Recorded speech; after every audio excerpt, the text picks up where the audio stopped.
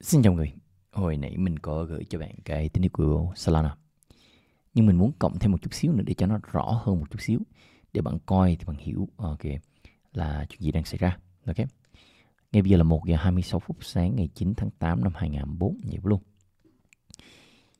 Thì nếu nếu nếu nếu nếu nếu Nó lên nó cắn cái con giá 163 Ok. Thì nếu nó cắn sóng 163 thì có nghĩa là sóng 3 đã bắt đầu là lên lên lên lên lên lên lên.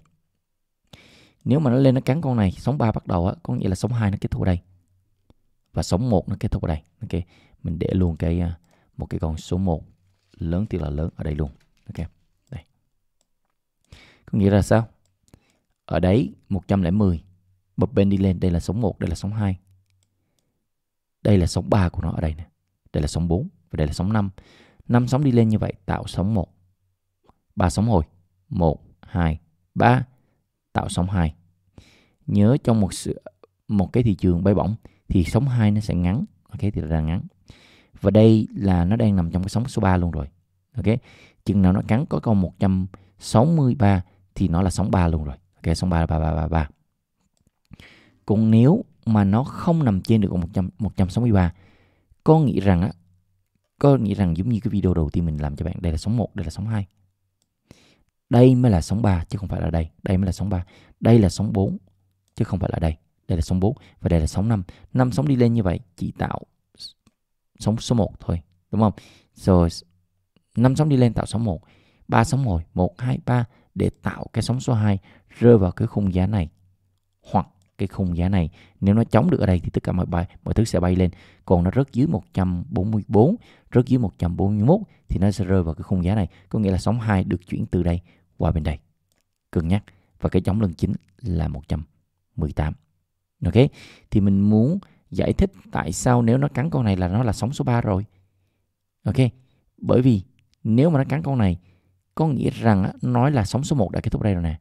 Và sóng số 2 đã kết thúc ở đây. Và sóng số 3 bắt đầu luôn nếu nó cắn được con giá 163. Ok. Và nếu mà đếm như vậy thì đây là 1, đây là 2, đây là 3 nè. 3 ở đây. Đây là 4 nè. Đây là 5 nè.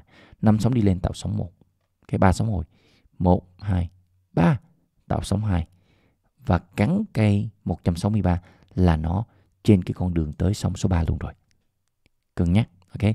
Thì nó có hai cái cách tính toán ngay bây giờ. Nó dựa theo là mình có cắn con giá 163 hay không. Cắn con giá 163 thì là sóng 3 đang được diễn ra rồi. Còn không cắn con sóng số 3. Ok, cắn con không cắn con giá 162, 63 thì có nghĩa nó là vẫn đang nằm trong cái sóng số 2.